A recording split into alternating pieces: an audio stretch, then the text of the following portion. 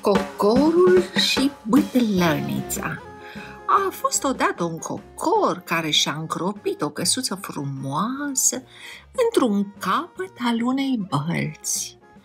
După o vreme, numai ce văzu că în celălalt capăt și-a clădit casa o bătlăniță. Cocorul Holtei se gândi atunci că ar fi timpul să se însoare și, zărind bătlănița cea frumoasă, merse la dânsa cu gând să o ceară de soție.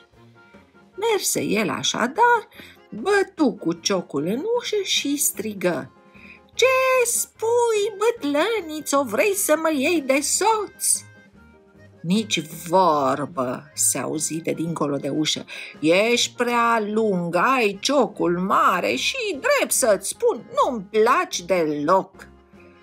Auzind una ca asta, cocorul se amără la început, dar apoi se întoarse acasă, spunându-și că tot răul e înspre bine, parcă tot mai bine singur și parcă bătlănița nici nu-i chiar așa frumoasă cum s-ar crede la prima vedere.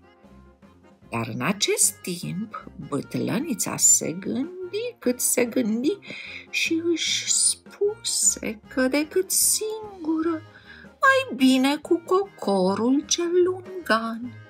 Străbătu așadar balt, ajunse la casa acestuia și îi strigă, Fie, vreau, te iau de soț, cocorule!"